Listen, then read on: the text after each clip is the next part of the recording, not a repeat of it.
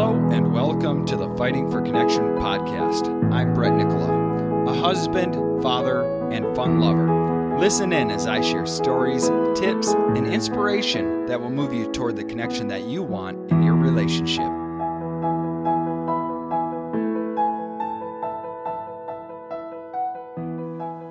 Right, welcome back to the Fighting for Connection podcast. Today I have with me a guest that's been on a few times, and today she brought with her a guest, Leanne. Welcome on to the podcast. And if you could introduce who you brought with us. I brought Derek, my husband. I'm excited to be on here with him. Yeah, welcome, Derek. Thank you. Yeah, I'm excited to be on here too. So, Leanne, you and I have talked on our previous couple episodes about addiction. And I feel like the reason why you're in the work that you do and why you and I have had the conversations that we have is here today. It's really your relationship that you and Derek have together. I think, uh, for me, this, this conversation here today is so exciting because just offline, I've talked with you guys and I know how open and transparent you guys are about the real struggles that I think affect so many relationships.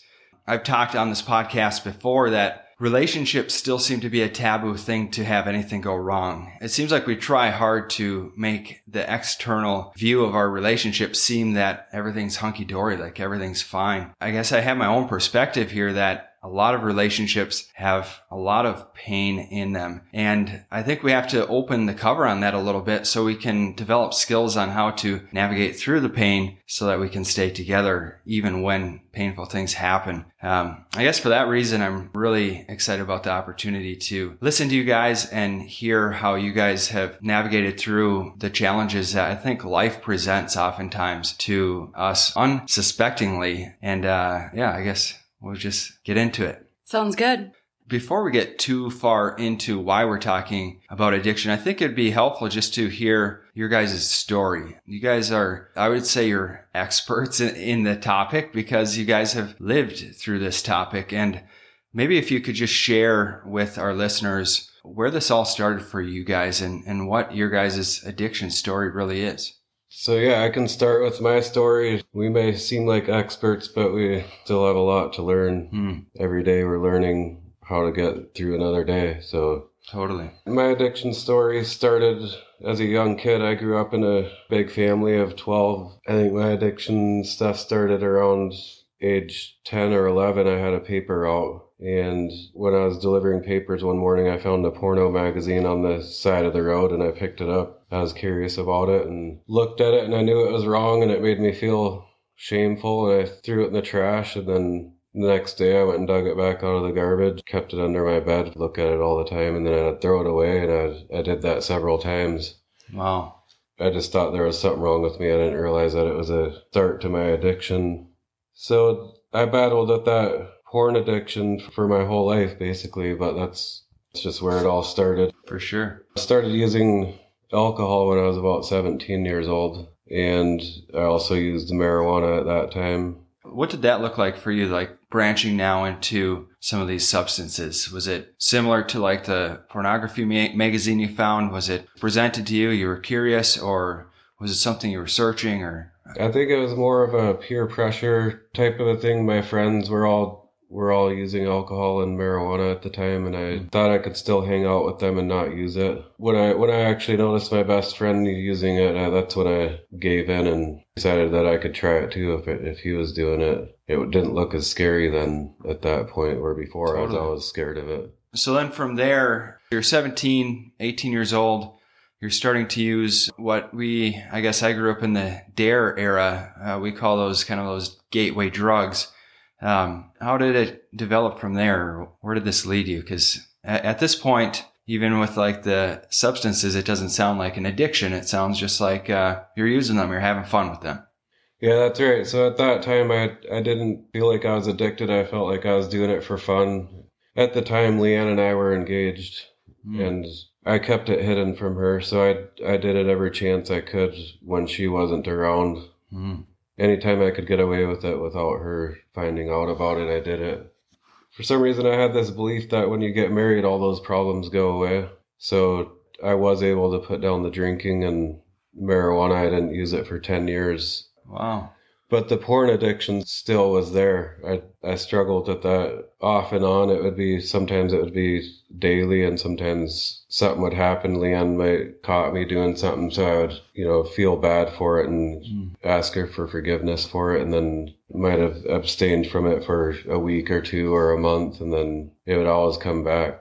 Kept that a secret from everybody for a long time. Eventually that led to me not being faithful to my wife that was about at the age 28 and at that time i think that the shame and the guilt from it is what led me back to drinking. Sure. so it was after that time where i was unfaithful to my wife started drinking again and that just got worse and worse. Wow. i started getting in trouble with the law with it. I got arrested several times And I want to just slow up because I feel like there's an important element to what you just shared there, Derek. I, I guess I don't need you to get into all the details, but I would be curious if you can maybe looking back on this pornography use, how it got to the, the extent of being unfaithful. Was it, was it something that you could tell was escalating to that or did it just seem like the use hardened you to that idea or having that happen.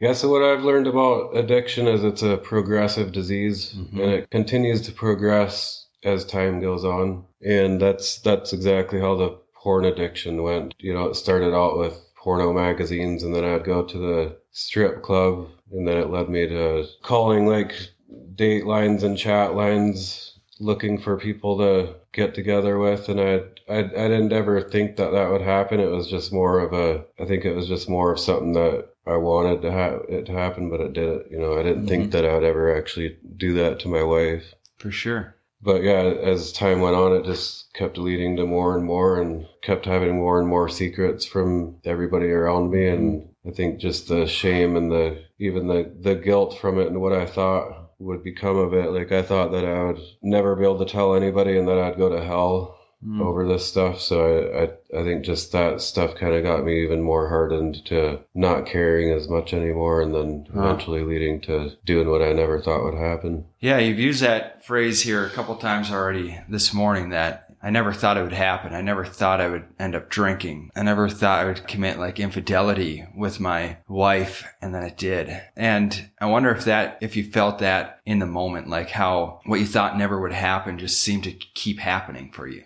Yeah, I, I know I know that every time something happened that I thought would never happen, it would just it would really affect me. I really felt horrible, and I didn't know what I what I should do about it. I I was mm-hmm. just left with thinking that I was going to die with this on my conscience and never be able to tell anybody about it because it was things that I just didn't ever imagine I would do. So heavy. Yeah. This happens at about 28 and it puts you in this position where you're feeling pretty horrible and it sounds like now the alcohol and the marijuana becomes kind of attractive again. It's like you remember how that felt when you were younger or how does it turn to that from your perspective? Yeah, I believe that's how I turned to it. It was because of all the other stuff that I believed about myself, about the shame and everything. I just turned back to it, remembering the feeling that it gave me. It gave me that escape Mm-hmm. that I needed to feel from all the guilt Mm-hmm. that I had. So we're at 28, 29 years old.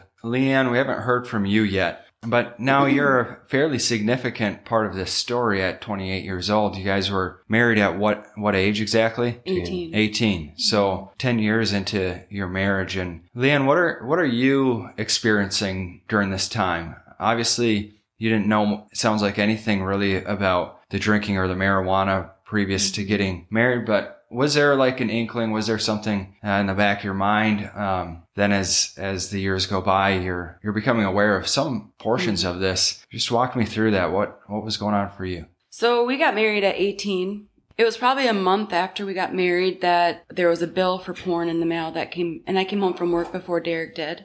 So I saw that bill and I, we didn't have cell phones then. So I looked at it and I was like, well, what is this? You know, and I just had to wait for Derek to get home. He got home and I asked him about it and he told me what he had been struggling with. And then he also shared with me what had been happening before we got married. So we had a lengthy discussion that evening and I, I felt as though he was open with me and, um, he didn't try to deny anything when I had asked him about it. So I felt good about it. Obviously, I didn't feel good about what had taken place, but I trusted him still. Mm-hmm. And so the next day I worked with my dad. I just mentioned to my dad about our conversation because it had obviously still a little bit been weighing on me. And my dad um, was able to comfort me and just say, Leanne, he, you, you guys talked about it. Um, Derek wanted to be forgiven. I, I would just really encourage you to forgive him. That's all I needed to be told at that time. That it just encouraged me to continue to move forward. Yeah. So I did, but obviously there was times that I wondered if there was any more struggle. Um, I didn't spend too much time on it at that point. However, in 2005, um, I was out painting the ho- outside of the house on a Saturday, and it, the day was starting to be kind of long for Derek to be working, and I couldn't get a hold of him. Um, finally, when he was able to call, he called me and said he had been robbed um, at gunpoint and held at this house for quite some time, and they had kind of hijacked him in his vehicle and driven him around to try oh, cash wow. checks. And then he told me how, and it and it was due to his his um, addiction and leading it leading up to attempting to be unfaithful. That kind of led to a whole discussion when he got home. We were both super emotional.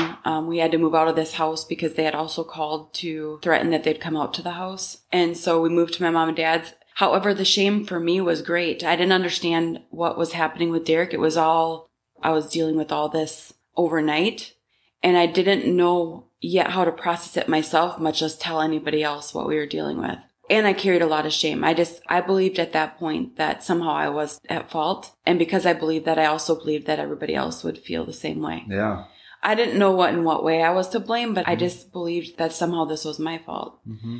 So I just told my parents that he had been robbed, but I didn't tell them what led up to that point. We moved in there, sold our house, and then bought another house. And in a couple months, we moved into the next house. Obviously, at that point, I'd mentioned to Derek that I think I hadn't heard of addiction. I didn't know anybody with addiction. I didn't, I hadn't really been in my life at all. So I, I, mentioned to Derek that maybe he's addicted because I had started researching a little bit about these kind of behaviors. And then he said, no, you know, I, I don't think that I am. I think this has just been a struggle that I've had that I haven't had the courage to talk about. But now that I've been able to talk about it again and cared for matters that I think it'll be better. And I couldn't disagree with that. Mm. That's how I believed too. But I think addiction has, um, it's more than just caring for it that way. Yeah. Um, the next few years, I did feel like I moved on for the most part. I did always wonder how was he truly doing. So that was 2005. That was that, 2005. Yeah. Okay. So then, so the next few years, I think it scared him. And from what he, Derek says also that it really wasn't a struggle for a little while because mm-hmm. that, that was a big event. But then in um, the spring of 2008, things started to just not be making sense to me. I started having, they say like intuition, gut feelings, I don't know what you want to call it, but all kinds of alarms were ringing. I think in some ways I didn't want to believe that maybe we were dealing with something big. Yeah. And maybe I wasn't ready to face it, but I knew that something wasn't right. Mm long days, sometimes not coming home at night. Um, it was also the same time as the bridge collapsed in 2007. Oh, the I-35W bridge. Yeah, and yeah. he was working that job. So I think there was a lot of leeway for him to be able to, they were working long days and um, there was a lot of different things that needed to be done there. So yeah. I think I believed him a lot of the time when he was just supposed to be at work. However, it, w- it became apparent in that, that spring then following the bridge collapse that Derek had been unfaithful. That was life changing. That was for me the probably, and probably to this day still is the very painful part of the story. I can talk about it, but it's been hard to share publicly just because, totally. just because of the nature of it. Yeah. Um, but I understand it. Who I am today, I understand it completely different than I did at that time. Wow. But I'll try to explain the best I can how I believed it to be at that time. Mm-hmm. But I took it very personal and that it was somehow my fault and that if I was this way or that way or looked that way or acted this way or maybe mm. I should change this, maybe I should change. I thought all those things, you know, if I just changed yeah. myself, then maybe Derek wouldn't struggle so much. So mm-hmm. kind of for me, the belief that it was my fault also escalated with his addiction.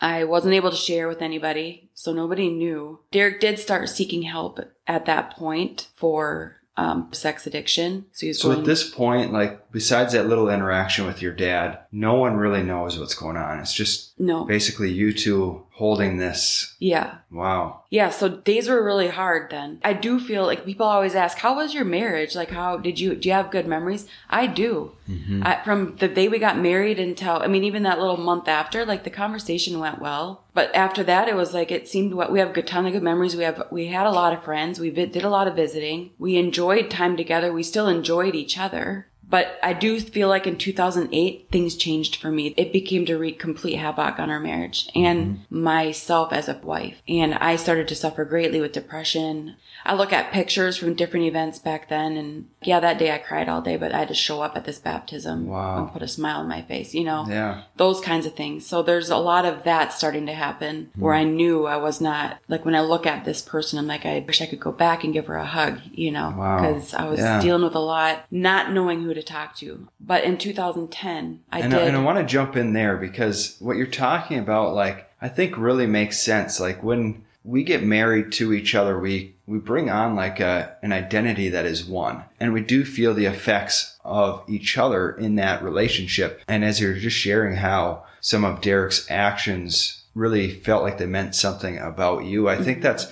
very common, very normal. Mm-hmm.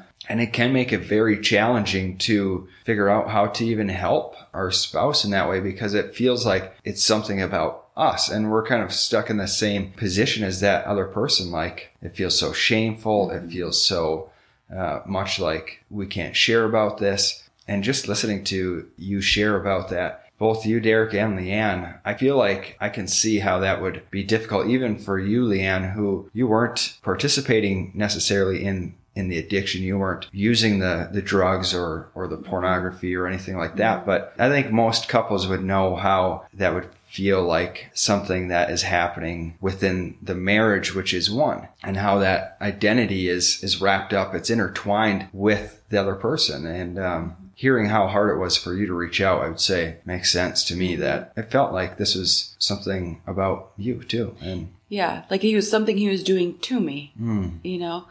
Around that same time, he's it started. Alcohol was starting to enter the picture, but I again hadn't been around alcohol. I didn't recognize the smell of it, but there was there was just something there. And finally, he did open up about that too. You know, like I could notice at night, um, unanswered questions, just just not knowing what's going on, but knowing something's going on. You know, there was just a lot of that. Not too long after that, that I did um, start opening up I wrote a letter, I think, to his parents, and then I also reached out to a minister. Or I drove to my mom and dad's actually first. I went to try to look for him one day. That was actually the moment that I I told my mom and dad, and then from there I went and shared with the minister, and I also wrote a letter to his parents. okay. I had gone to pick up. It was a, I think it was a Saturday again, but I had gone to. He wasn't responding. I knew what he was struggling with, and I think in my own belief that I could somehow stop the actions or behaviors for fear of what was it was going what was going to happen next. I went and um, packed all the kids in the car to try look for him, thinking that I could change the course of events. And now what I know today, I recognize that as to trying to prevent the pain that I was already feeling from exacerbating. Mm-hmm. So I was trying to prevent all that. No, probably knowing realistically that I couldn't. I knew uh, maybe I knew even deep down I wouldn't be able to find it, but maybe I left just on the flare of hope that Of course. just maybe. But I got 45 minutes into the cities and I realized that there this ain't happening.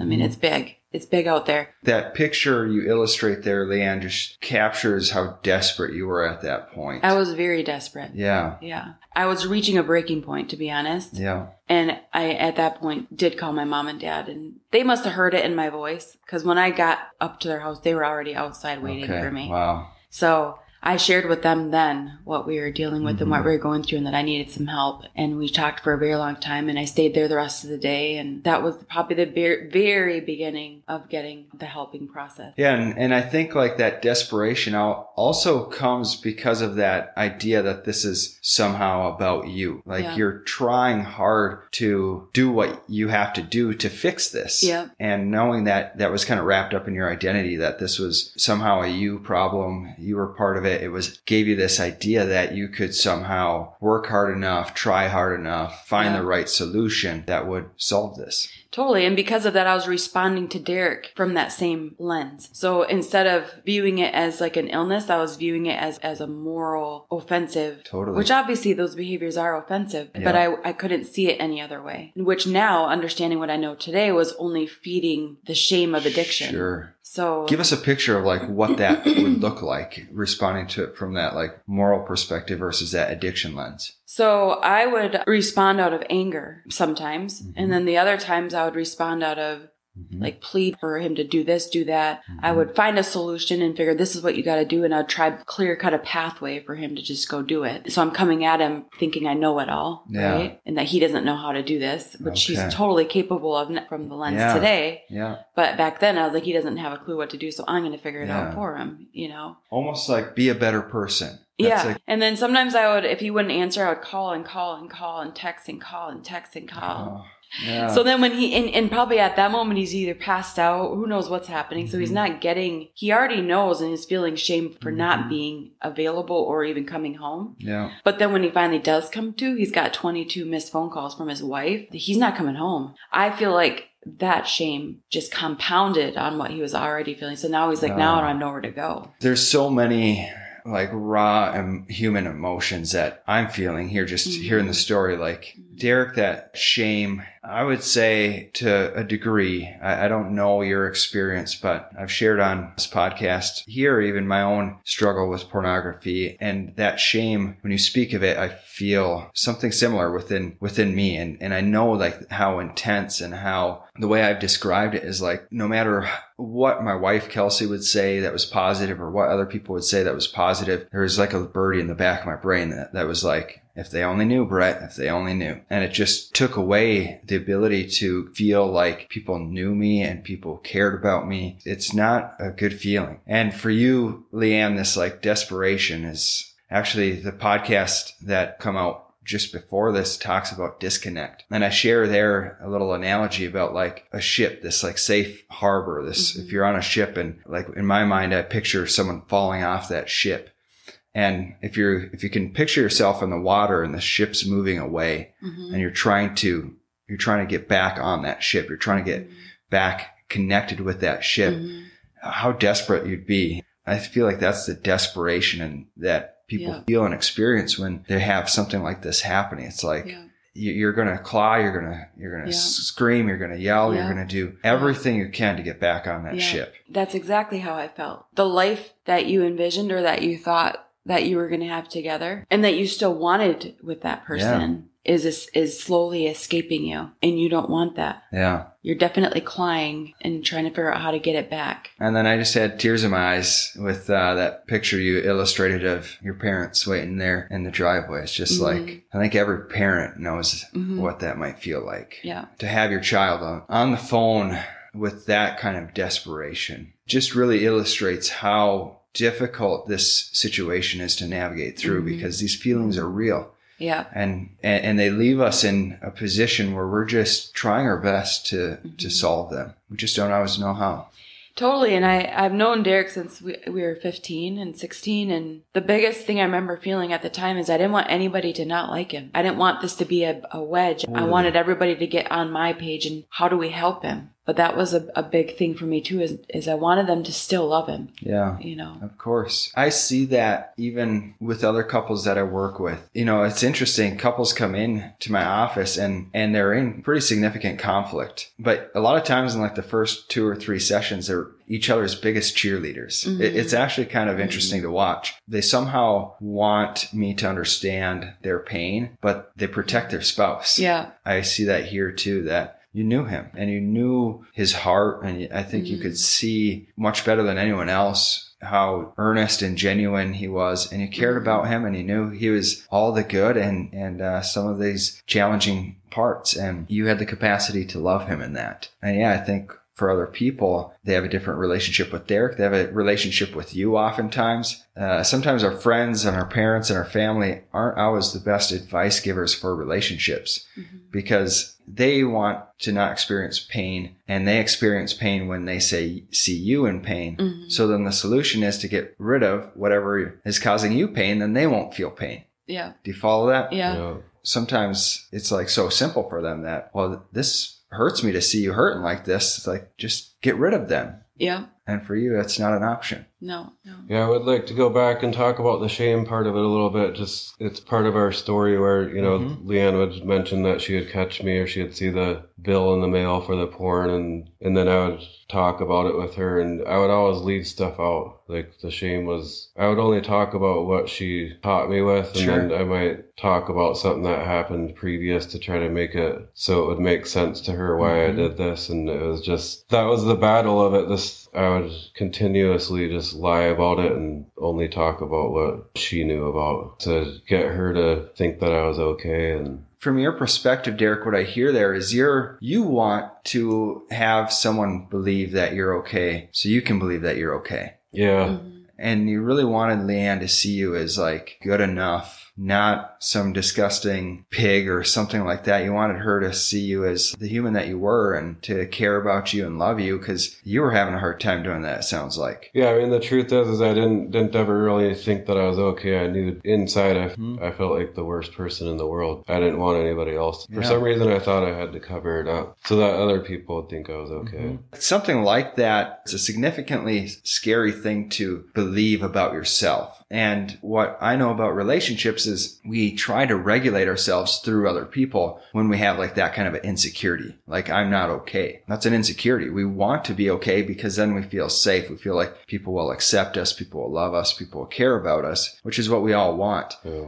And so now this has you feeling anxious or insecure within your relationships. And what we'll do is we'll try to get other people to believe that because in our mind, it's like if other people believe that, then maybe we'll believe that too. But then anytime there's any sort of negative feedback that would, uh, prove our insecurity, then it overpowers any of the good responses that we've gotten. It, it just wipes it all out. The analogy that I use is if I was insecure about the shirt I was wearing, I could get eight or nine compliments in a day, but one person says like, what are you wearing, Brett? And I would never wear the shirt again because Yeah. that neutral comment would confirm my insecurity. This is an ugly shirt. And we do that about our beliefs that we have about ourselves. And here, what I'm hearing is this pretty deeply entrenched belief, Derek, that I'm a problem. You said that uh, right out of the gate when you uh, were talking about pornography. You said like, I thought I had a problem. And that Yeah. belief started there. Yeah, anytime Leanne or anybody else would say anything negative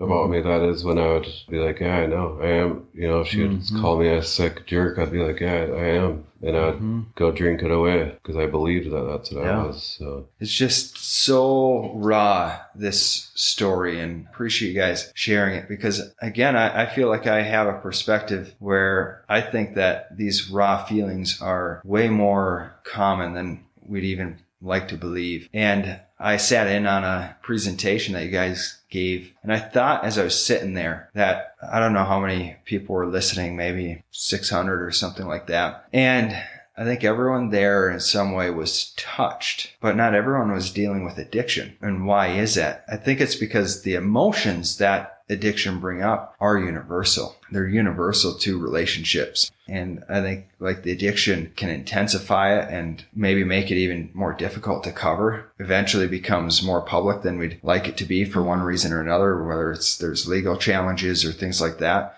But these feelings of like, I'm not good enough, or somehow this means something about me, or I have a problem, like those are, those are close to, I would say, most of us. Mhm. And when you share this story, we all recall those feelings. And I think it can do something to normalize them so that it doesn't have to get to this extent that we can reach out and get help. Mhm. It doesn't have to be, I think the, the term that I've heard you use, Leanne, is full blown addiction Mhm. to really begin to work on these things that are underlying the Mhm. addiction. Mhm. So that brings us to what, 2008, 2009, right? Is that kind of Mhm. where we are here? yeah. Yeah. Yeah, right after I started drinking. The drinking was the same as the porn. It escalated quickly. I, I was drinking every day. I'd get up in the morning and I'd drink on my way to work and I'd drink while I'm at work. And I still would try to hide it from Leanne. You know, I would, I would actually drink in the morning so that I could get home ten, 10 hours later and she wouldn't be able to smell it.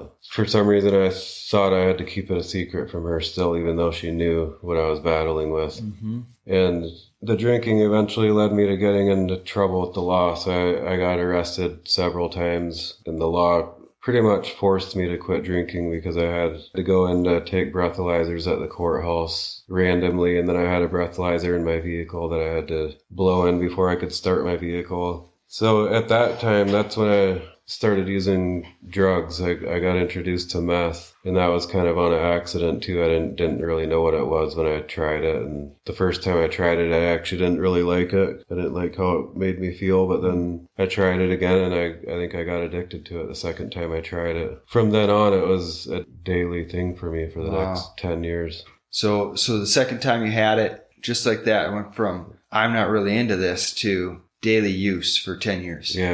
yeah. Wow. I think that's incredible, actually, that something could just take you like that. Because that's not what we hear with other kind of addictive substances. Most people kind of build up, you know, and feels like a pretty significant, like zero to, to a daily use Yeah. kind of a thing. Yeah. I mean, the first year that I did it, it was it was a drug that made me it made me feel better, and it made me feel like I was performing better. It's it just did all the things for me that which is what made me get addicted to it. So Yeah. that's why it was so powerful because that first year it it was amazing Yeah. for me.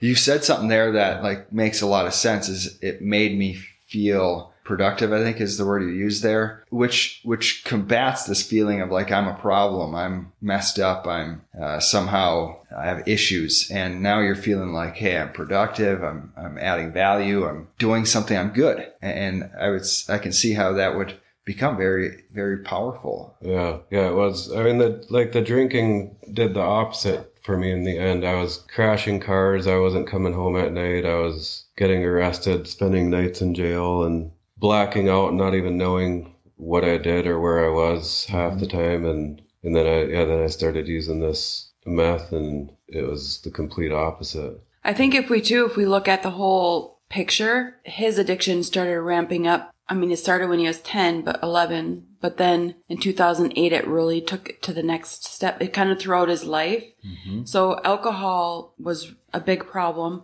but that was forced to go away because of the consequences. Yep. But yet his addiction was not being treated. Totally. So introduce the drug then. I think to, for me, I mean, obviously drugs and meth are powerful, but also to me, it speaks to where he was in the progression of his disease as well, Yeah. which explains the zero to 100 because he was that on 100 with the alcohol. Okay. But Yeah. the law and his consequences squelched that, Totally. but it just jumped ship to another substance is all it did. And it still continued. Yeah, which I think is interesting. Like that's kind of the reactive nature that we are as humans is we solve the symptoms. And what you said there is like they weren't taking care of the addiction. Yeah. I guess I don't know where you guys stand on this, but I think like the root of addiction is a lot of times in some of those negative self beliefs. Agree. And Yeah. that's the theme that I've heard throughout your story as you've talked, Derek, is there's like a there's a significantly powerful negative self belief that made these synthetic drugs, if you will, whether it's pornography, alcohol, or meth, feel better than than maybe they might to someone who doesn't have some of those negative self beliefs to that extent because because you were suffering as much as you were. Yeah.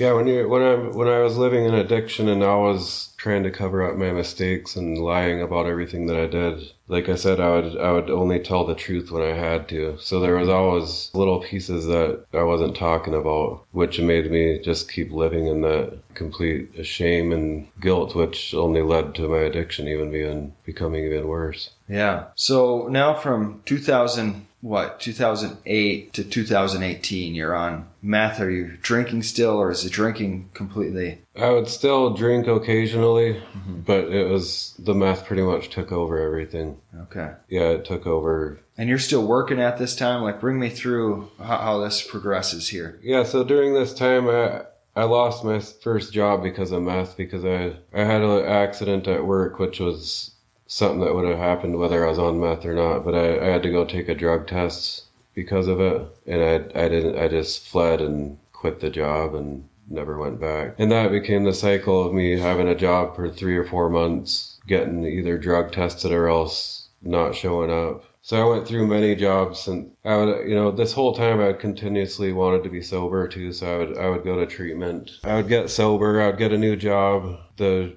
play everywhere I worked, they just thought I was the greatest, greatest worker and just the greatest guy. And then all of a sudden one day they're like, what happened? Because I, I either wouldn't show up or else I couldn't perform anymore because of the drug. But yeah, that drug just took everything from me over and over again. I would get sober, I'd get my life back somewhat, and then I'd relapse and I would end up back back on the streets. Most of the time, it, it, was from having somewhere to live, having a job, having everything I needed to just being on the street with nowhere to go Man. over and over again. That, like, it sounds, yeah, I feel like I feel a lot of emotions as I try to put it on. Just like, obviously, you've talked about the shame component of it, but just the frustration that it feels like you would have just wanting so desperately similar similarly to the desperation that we talked about with Leanne to get rid of this, to just be done with it. And you make a new promise, you try again, you start somewhere fresh, and it just takes it away. Yeah. And uh, towards the end there, when I would have a relapse, it was, I knew what it would do to me. I knew that. I remember one time I was driving to the drug dealer's house to pick up more meth, and it was it was a relapse I hadn't used yet. I was sober. It was like 14 months you'd been sober. Yeah, I'd been sober for 14 months. And when was this? This was in 2000 i don't remember the year but it was one of the last times that i relapsed Okay. but yeah i was driving there and i, I knew i had my life together at the time and things were coming easy and everything was back in place and i i was driving to this place just crying and screaming and punching my steering wheel i just couldn't couldn't believe that I was going to do it, but yet I wasn't. It was so powerful that I could not Wow. stop myself from going to do it again. It was Yeah, just to be in, you know, knotted in that powerful cycle, I would call it. It just, uh, I can't imagine, you know, what I, I feel compassion as I think about it. It's just like, man, it yeah. can't be easy. And now is a fairly significant period here from 2008 to 2018. And I know just from talking offline and hearing your guys' story that the relationship really was seemed to struggle the most during that Mhm. time or, or from an outside perspective. We separated in 2012 first. It was about a year and a half. In that time, I lived at my mom and dad's, and then I went to Arizona for Did the you know he was doing meth now at no, this time? I didn't. okay. I, I, I believed it to be alcohol at that point. Okay. And it might have been. at that time, it was alcohol. It was during that separation yeah. is when when I started using meth. So then I went to Arizona for the summer and um, that was another significant healing part for me was just creating a distance between me and um, the addiction and the, the constant um, roller coaster that I was still so closely tied to. And then there was just so much support there. Not that there wasn't here, but I think because I removed myself from being so close to the addiction that the I could embrace the support. And then, um, so that was good. Although I knew throughout the, I remember, um, Derek's brother Aaron asking me before I came home, like, are, are you ready to go home? Do you feel like Derek's in a good place? And I remember telling him, Aaron, I'm still not Derek's number one, but I couldn't, I wanted to believe what Derek was saying and I wanted to believe that things were okay, but I knew they weren't. But I, I knew I had to go home because that's where, this is where home was and it's where I lived. And so we went home and within a few days I learned that things were, were not good still. And, um, so I moved into a rental with the kids and I think it was just a few months later that Derek went to treatment. And then, um, it was just kind of that same cycle off and on for a little while.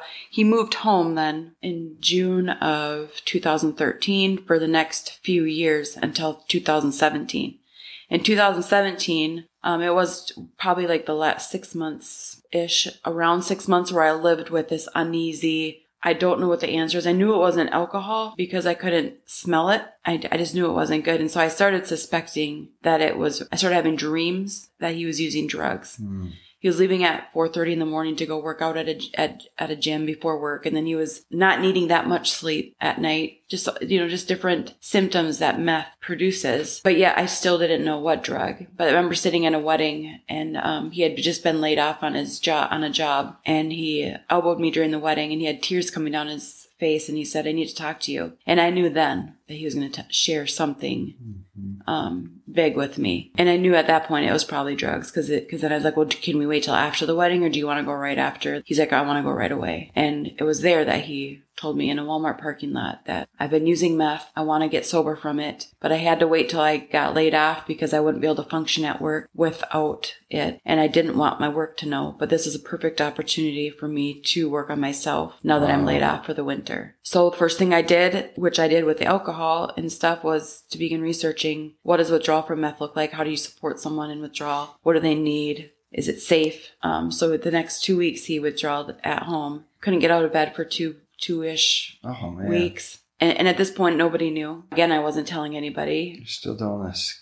Everybody had begun to know about the alcohol and, and that kind of thing, you know, so because we had separated, but mm-hmm. now we were in the same boat again, but with mm-hmm. drugs. And Leanne, like, I guess I just have so much empathy for your situation because, again, you still want everybody to know that he's just, he's a good guy. He's, you mm-hmm. love him, you care about him, and, and you just naturally protect even that kind of stuff. Yeah, you do. And I think even at that point, I knew I still loved Derek, but I was, at this point, I started to wonder if he really was a good guy. Those kind of thoughts started Yeah. coming in that maybe I've been wrong about him all these years. I think more at this point, I, I don't, I, obviously I was afraid to tell people, but I think I was afraid to tell people because I didn't know what that meant for me. Where, where does that bring me then? And what, Yeah. what does my life look like from here? Oh, you know, Derek started treatment, a local treatment center for that in 2015. And then we kind of just went back and forth with that cycle again for a little while. The relapse, disappearing, recovery, relapse, disappearing, recovery. But in 2017, that July 24th,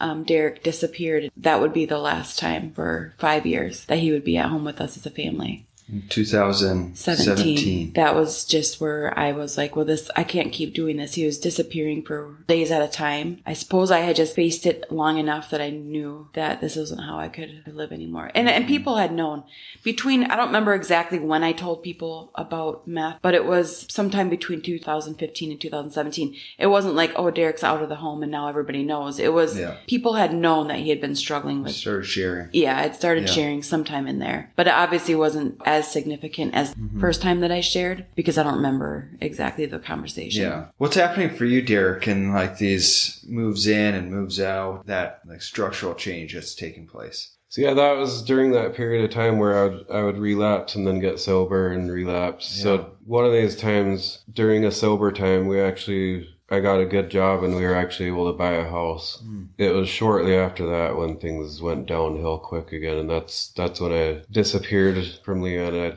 I, I moved moved to a place in Pine City. That was like probably one of the worst times of my life. It was I spent about six months there in a camper outside in the winter with no heat, living just a miserable life. I was on unemployment and I was also child support was coming out of my unemployment check, so I, I think I would get like $180 a week, and I would spend every dollar of it on meth. That would keep me. I, th- I think I'd get my unemployment check on Tuesday, and I'd go buy $180 worth of meth, and it would, it would be gone by Friday, and then I would sleep from Friday until Tuesday again. Like I would get out of bed and eat eat some peanut butter sandwiches, and that went on for many months. I I didn't save any money to buy any food or or anything, so I would I would steal food during that time, and This addiction just has you completely. yeah, yeah, that's when I actually yeah, because I would steal gas for my car and I'd steal food, and that was another line that I was never gonna cross. I was never gonna be a thief. But you're living at that point. You were living for the drug. Yeah. Wow. during that time I I had gotten to a point where I just didn't want to go on anymore like that and I had prayed for help and somehow some way Leanne called me one of the, that day Hmm. that I prayed Hmm. and she reminded me that my dad was willing to help me. I think it was that day I called my dad and he was he said, "Yeah, come come to Arizona and be with me and we'll do what we can to help you." Leanne's dad Joe came and picked me up from Pine City and brought me to their house and he let me stay the night there. And they, he actually bought me a plane ticket to Arizona. My mom and dad were there to pick me up and they took me in and took care of me for a long time. I, I, I was sober for six months at that, at that time. But for some reason, I didn't think I needed to do any of the work. Like I just thought that it got miserable enough for me. Now I can stay sober. Like I don't want to go back. I can stay sober and just live my life. So I didn't do anything for my recovery at that point. I just mm. went to work. How many times did you go through treatment to that point? I went to treatment. I believe I believe I went nine times total, but there was I went twice since this time, so I'd been to treatment seven times. So yeah, for some reason I didn't believe what they told me in treatment. I just thought I could do it on my own, and was able to for six months. But eventually, I had it. I don't even know what happened, but I went and got high again, and that began the vicious cycle of relapsing and getting sober again. That story, it's interesting to me, and maybe I'm even sensitive to share because I don't want anyone to feel like they have to do more for, say, someone that they're experiencing an addiction with, but the love and the care that was around you at that time, like I, I, truly believe like one of the most powerful agents of change is love. Yeah, I believe that too. I couldn't have done any of this work without all these people around me that loved yeah. me and that were willing to take me in over and over again. But if everybody turned me away, I would, where would I be? Don't think that I could be here today. The capacity that people there had to put a little, a few more dollars at you and parents to take you in and, and believe in you one more time and Leanne to keep showing up. It's just, it's remarkable how powerful that love is. And we try so hard to make people better, to change people through other means. But just holding capacity to love them. It seems like it just, we know so closely where we're failing, where we're going wrong, what we're doing wrong. We just don't always know that we're loved. So it's interesting that you say this because this is about this, the time in my own recovery story that I started learning um, that addiction is a disease. That Derek didn't choose to destroy his life. He's not choosing to destroy mine. He's it's not something that's done to somebody. It's it's something that he struggles with. But yet I'm impacted. And that's what I'm feeling mm-hmm. or was feeling was the impacts of it. You know, we started learning about the shame cycle of addiction and how our responses as loved ones to someone struggling with addiction can feed the addiction or feed the recovery. And um, I started to recognize myself feeding the shame, which I don't beat myself up over because nobody can go back and do that. We only do best with what we have. We're trying, we're all totally. trying to do our best. Yeah. And that was my best. I didn't yeah. know any different mm-hmm. and I didn't know another way. Mm-hmm. So if anyone's listening and is feeling like, don't go down that road, that's not what this is about. It's yeah. about being willing to look forward and learn and move, being willing to look through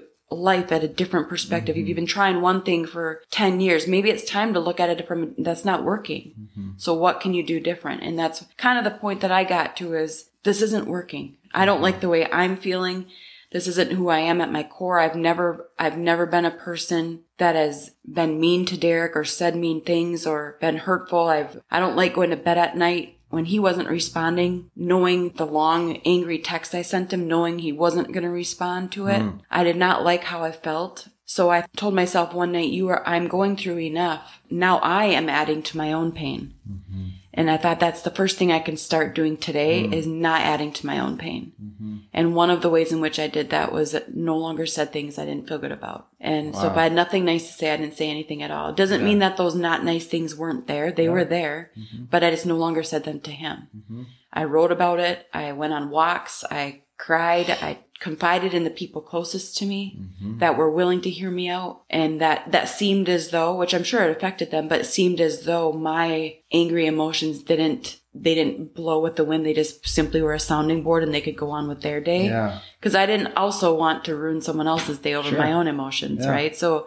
I was super intuitive to like, well, I can't talk to so and so today because I feel like it's going to upset them. I worried about that a lot yeah. more than I probably should have. Yeah. Yeah. The process of healing began and just seeing community reinforcement and family training and the invitation to change and which I won't go into that so much here, but, mm. but there is just an empathetic, loving approach, viewing the disease of addiction as a disease versus mm-hmm. a choice. And which, which like, this is your work, Leanne. I think people desperately wanting that information. So Leanne's a, an amazing resource for those kinds of resources. And uh, you mentioned like the CRAFT method that you use and things like that. Where can they go to get more of that? Like, how can they follow you and your story and learn from some of the things that you've learned? You can go to Evolve Addiction Family Recovery Support on Instagram, Facebook. There's also a support group that I have on Monday nights. That's actually um, part of Thrive, but it's also Thrive is um, a group that's ran out of Minnesota too by Pam Lanhart, and we collaborated to bring this support group along with Evolve. And it looks like that support group's been really well received. I've passed through it a few times just when we shared office space, and it seems like there's there's a supportive group there.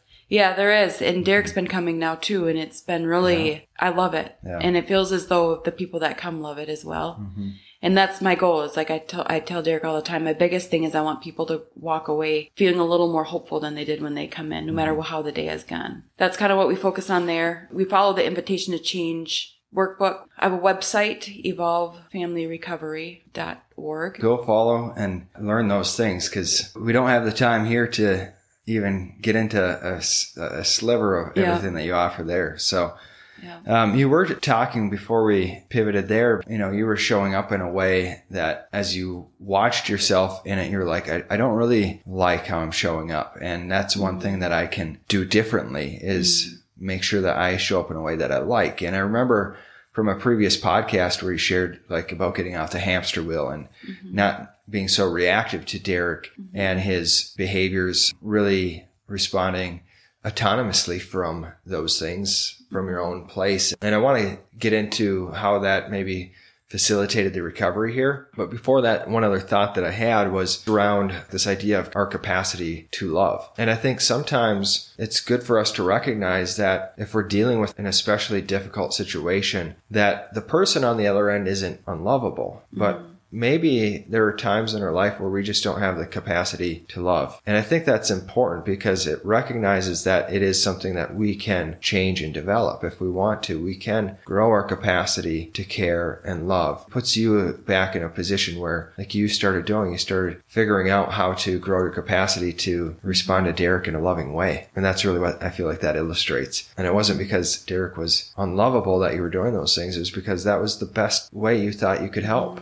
Mm-hmm. And that makes sense to mm-hmm. me totally. But you're able to see how it didn't feel like love and care for you. And you stepped off that hamster wheel and you developed a bigger capacity to show up in a loving, caring way. I did notice all of a sudden one day that Leanne became an easier person for me to talk to. She would text me just out of the blue asking how I'm doing, and I'd tell her, you know, a bad day, and she would ask me, well, what, what can you do about it? Or she wouldn't start accusing me of doing this or that. She just sure. she just became a lot more loving, and I at the time I didn't know that that's what she was doing, but now looking back, I can see that she's something that she was doing that was different. It definitely helped me on that last day that I used the day that I got sober, I told Leanne what I wanted to do, and she pointed me in a direction. She asked me, "Well, what are you going to do to stay sober?" And I was like, "I don't know." And she's like, "Do you want to listen to a sermon online that helped me the other day?" And I was like, "Yeah, I'll listen to it." So she sent me that. Just things like that, where I think before she would have been been on my back. Just you need to get to treatment right yeah. now.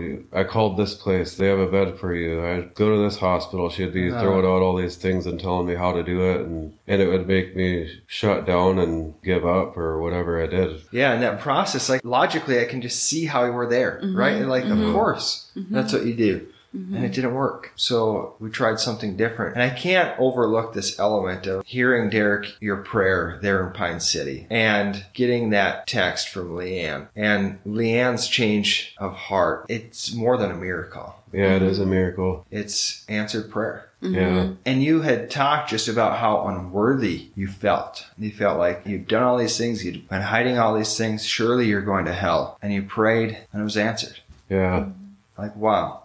Yeah. That's love. Yeah, it is. Mm-hmm. Yeah, part of that change for me too was um, up until all those prior years, I had been fighting for my will. You know, like I didn't want to be a single mom of 12 kids. I wanted Derek back because I loved him. I missed him. I didn't want this struggle with addiction. I didn't, I didn't want one bit of my life. I didn't like at all where it was going. And, and that's kind of the, lens in which I was responding to everybody and everything, Yeah. including Derek. Until one day I was at home and I realized I was getting very exhausted mentally to a point, you know, that I'd considered maybe I could just end my life at this mm. point. And I remember thinking that I trusted and believed in God, but I feared my life going forward. I thought that day that there's nothing more I can do. I'm too tired. I remember falling to my knees in my room. I'd shut the door. The kids were doing whatever they do. And I was very emotional. I prayed to God and I, I distinctly, Derek and I just talked about this the other night and I told him about this night. And I um, prayed to God and I said, God, I know you know where I am. And I know that you know how scared I am. I so badly do not want this life, but please, if this is the life you see fit for me, please hold my hand and show me the way. And it didn't get overnight easier. It wasn't like, oh, poof, life was good. But that's the day, the moment that my life started to get better. I let go of my will and completely, with just a small little window of hope, wanted to trust that God knew where this, my life was going and that he would help me in every aspect. And that was the beginning then of finding this new, way gentler, less controlling, just a loving, trust God, you know, that kind of approach. And, um, and I also learned that one size doesn't fit all. So when Derek did reach out for help that last time, I knew it doesn't help to tell him how to do it. He's mm-hmm. going to do what he feels most comfortable with, and that's what we want him to do. Mm-hmm. Because that's the change that would be sustainable, is something that mm-hmm. he's willing to do, not what I'm wanting him to do. Yeah. And realizing that, I was like, Huh. I don't know what he needs to do. He knows what he needs to do. He's Sure. been through this so many times. All I need to do is just find something that can give him a little bit more hope. And then I remembered the sermon that I had listened to Huh. that had given me hope. And I was Wow. like, well, I can love him and I can encourage him in these kind of ways, but the rest of the answers will come to him. Powerful story and, and one that I don't know necessarily how to get someone there, but it does just, I think what you saw was the way you were trying to solve this wasn't, just wasn't working. You'd come to a complete dead end and it gave you the ability to take a risk into something completely different, which was let oh, Like the, the holding on again really felt like safety to you. It did. In that way, I can appreciate how difficult it is to do what you did. Yeah. It's a complete unknown Yeah. But I know, I know after that, I did start to be accepting. Mm-hmm. I ex- I had got to a point before Derek got sober even that I accepted my life as a single mother mm-hmm. and and I enjoyed the relationships I had. I was started feeling thankful again. I started seeing life completely different than I had prior. Life plain and simply got much easier even though it was still very difficult. Sure. So you said 2019 was when you became Yeah. sober, Derek. When I got sober, it was Easter Sunday of 2021. I believe it was April 5th. That was the call then, and the uh, the you shared the sermon, and then what happens? That time it was the same thing. I prayed for help. God helped me. I had the strength to call Leanne, and I still didn't know what I was going to do or how I was going to do it. That next day, I was over at my brother's house working. I was there helping him, and my dad happened to stop by that day, and he's, he's like, "Do you want to come over for dinner tonight and visit?" I said, "Yeah, yeah, I do." Sat down for dinner, and I told them at that time that I had just gotten sober two days before that, and they they're like, "We want to try to help you again if we can help. Would would it help if you moved back in with us and had a place to stay again?" And I was like, "Yeah, I don't have anywhere to stay right now. I've been living in my truck, and I think that would help." I moved back in that night, and next morning we had a conversation. They wanted to know what they needed to do for me, or my dad had actually asked me if he wanted wanted him to come with me to work if I needed somebody with me. And I was like, that would help. I I probably am not in a good spot to be alone right now. So he came to work with me every day for the next two weeks. I remember that the last day he came, I think it was over 100 degrees, and he's like, Derek, I can't do this anymore. I'm getting too old. And he, he did. He looked like he was going to pass out. It was mixing concrete by hand and pouring it in a retaining wall, and he was just he couldn't handle it anymore. It was too hot. So I was like, I needed you for the two weeks, and I'm happy that you're able to help me. And I think I can manage to go to work without you by my side every minute of the day anymore. So yeah, that's how that went. I, I also had a group of guys of, of about 10 guys, a group of AA guys that I had gotten to know. So I reached out to them and told them that I got sober again. And one of them called me and said, Hey, do you need a sponsor? And I was like, Yeah, I do. He's like, I'll come over tonight. I'll be your sponsor. So I went over there that night and we worked on the steps starting that night and we did it every night for the next few weeks and I got through all the steps and still continue to work the steps today. It's a mm-hmm. daily work, but we got through them in a quick order at that time, just something I needed to do. that that story for me, if there's like one thing that I wish in listening to it, it's just that I would somehow be able to do what one of those people did. Sounds amazing. And like, of course we all would want to do that. But I also know I've been in that situation too. And it's, it's a lot different when you're the person doing that. It's a sacrifice. People were just willing to help. I just wish that someday, sometime, given the opportunity, I would respond in that way. Yeah, I do too. I think about that often. I, I hope that if I ever am in that situation that I have even half the strength that these guys did to just mm-hmm. put down what they're doing and just help me. Oh. You know, they that's all they wanted was for me to get better, and I really hope I have half of that strength mm-hmm. if I ever run into a situation. So mm-hmm. that alone is a miracle too to just put down your life for this time and help. Just to help someone who doesn't know that they're loved, and to just yeah so freely give in that way. It's uh, just highlights the the power of love and and the changing effect that it has It's something that requires faith because we do give of ourselves. So, you know, you, you look at the story, how much people gave for no real guarantee of return, even. You, you can't place a bet on that, uh, mm-hmm. that I'm going to show up for two weeks and, and this will cure everything. It's at that point, like there wasn't any more chance that time for them from their perspective than there was the first time they helped you. And they did.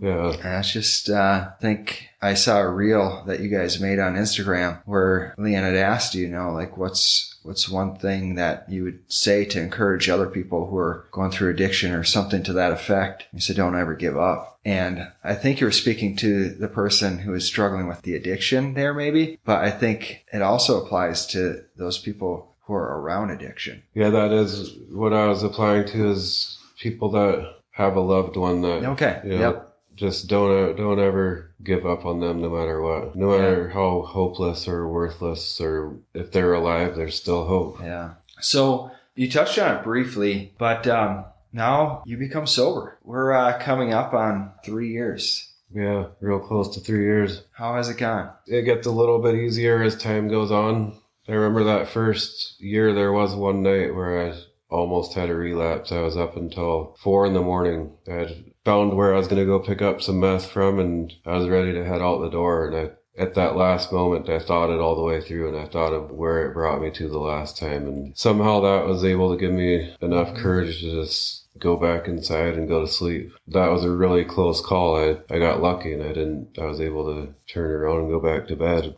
It does take work in the beginning, it was work that I didn't want to do. I didn't think that I liked reading and working on myself and praying and meditating and trying to help other people. And those are all the things that I have to do every day. Wake up in the morning and the first thing I do is I read. There's a day, daily reading in the AA book and a daily reading in the NA book. And I read those and I think about them. I meditate about them and just try to apply them in my own life for today. And then I, I move on to doing my daily, normal daily work. But throughout the day, I still, anytime I have a hard time, I pray. And anytime I start thinking the wrong way, I talk to Leanne about it or I talk to one of the guys about it. My main focus is to try to get to as many AA meetings as I can. And if somebody calls me, I pick up the phone and I talk to them. Yeah, it's uh, just hearing that. The thing that popped out for me was the humility that this requires for you. Pride is I would say probably cl- close to all of us, right? And especially when we build this new identity, uh, uh, the identity of sobriety, we become attached to that too. And now all of a sudden, we don't want to even admit that we're as close to insobriety as maybe we still are, right? We still want to do things our way. Uh, I can see how even in sobriety, there's still work. It's not like, uh, you're good to go. No. Yeah, it's still hard to admit that I need help with certain things and that I still have a hard time with my thoughts and mm-hmm. what goes on in my life. And I, I still have a hard time reaching out and talking about those things with yeah. other people because I, I think that I'm supposed to be able to get through it by myself. Which I think that's a universal human condition. You know? Mm-hmm. um, so you're not unique in that at all. And yet knowing how many times you've went through that cycle in the past, you know, I have to imagine that it still is worrisome. Maybe that's a question that I would ask you is like, how does it feel now? Is it in the rearview mirror? Is it something you guys think about on the daily or Yeah, I think it definitely in a life that I didn't think was ever possible. Hmm. I never thought I could have the things that I have today with my wife and kids and Wow. but it's still there. My first thought always seems to be the wrong thought. My mind always goes to the wrong thing every time. I'm able to think that thought all the way through and do the right thing rather than the wrong thing. It's amazing how at least once a day I can have a thought of I could have this relief from the drug or alcohol. For some reason that's still part of my thinking. And I don't know if it'll ever go away, but I know Sure. that today I can talk about it and I can continue that thought until I know what I should do Yeah. How about for you, Leanne? Um, I know in the beginning,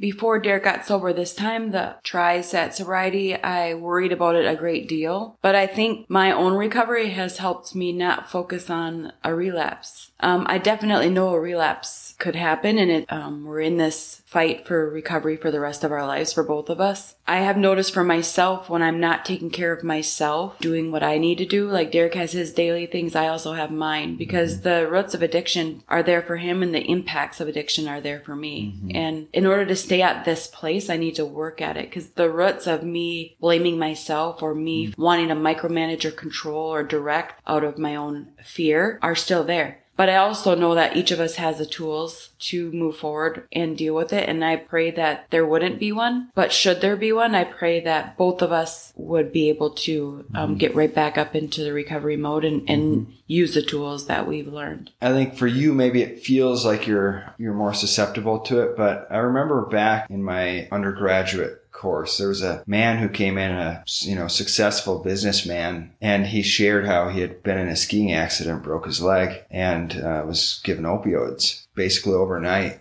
He was in the throes of addiction. It's that close to I think all of us. Um, And your guys' ability to talk about this, to take the cover off like you have, is I think so helpful because really the addiction takes over. How do we support that addiction? But then there, there's another story here that I feel like is a whole another hour and a half podcast. It's how these life events came into your guys' relationship mm-hmm. and it left you guys, I have to believe it left you guys confused about your care for each other. And here, like now I've, I've watched you guys interact in different settings and, and watching you guys on the couch there, it's clear that you guys have found each other. You feel close and connected that way. And I know you have a relationship and there's moments of confusion and there's moments of worry and hurt and things that you guys have experienced, but you've been able to, even in this, reassure each other that mm-hmm. you want to figure this out together. Yeah, that's the main thing. I feel like where we're at today, for whatever reason, some days it's a little harder to talk about the difficult parts of what we've been mm-hmm. through than others. But I would say overall, that's not even the forefront of our relationship anymore. Mm-hmm.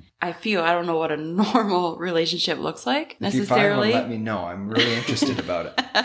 but I feel as though like if you were to come sit in our house, you, you maybe you wouldn't even know mm-hmm. our marriage has been so directly impacted by addiction unless we sat down and shared with you, which we have, you know. But there would have been a time where you would have sat down and been like, these two are in deep pain. But I think today he does his recovery, I do mine. We might share a little bit in the morning, or if something reminds us, like we went to look at a job this morning and it's right where the kids used to go to school and Yeah. brought up some old memories, you know. So we mm-hmm. share a little bit about that, but it do, it's nothing that sinks our day. And if it does, we're just like, you know what, today I'm not in the headspace to talk about that. I want to stay focused on what we have today, and then mm-hmm. we move on. We're we just gotten real matter of fact about what we've gone through, and it's mm-hmm. not loaded with the emotion that it once was. However, there is parts of our story that maybe will always bring some emotion because it's just impacted us in that way. Yeah. But yeah, overall, I'm I'm so thankful that we have what we have today, and and I I just feel lucky. I feel as though it's a gift that I got Derek back again. Yeah, it is a gift. I'm amazed at Leanne's ability to get through all this stuff. I've heard her so many times, and mm-hmm. it's, it's a real gift that she's able to work through it on her own and work through these things with me. I want to underscore this piece that I think there was hurt in both ways. And I don't think either of you were intending necessarily to hurt. But I I think when you say that, Derek, I just want to highlight that you've done that too. It, it, it takes both of you to be able to do that. Mm-hmm. It does take work on both parts. To, mm-hmm. even yesterday in the morning, we argued about eggs. you know. Eggs? Yeah. okay. Eggs. Yeah. Of course. Yeah. Who doesn't? Yeah. Yeah. That that and that is that is a relationship. That is marriage. It really is. Yeah. And I think that's some of like the tabooness that is still there. It's like we want people to think that we're madly in love, Yeah. We don't want them to think that we're fighting over eggs. Yeah. Yeah. So, so we're gonna put on this portrait of us madly in love, and we're not going to talk about the argument about the eggs. The travesty in that is I do think that there's skills that we can develop to find each other again on the other side, yeah. Yeah. and to work through that in a way that has you, you know, less than 24 hours later. Laughing and I won't say you're cuddling on the couch, but it looks cute. You guys look cute over there. I wouldn't sit this close to anybody else. so- yeah, I believe it.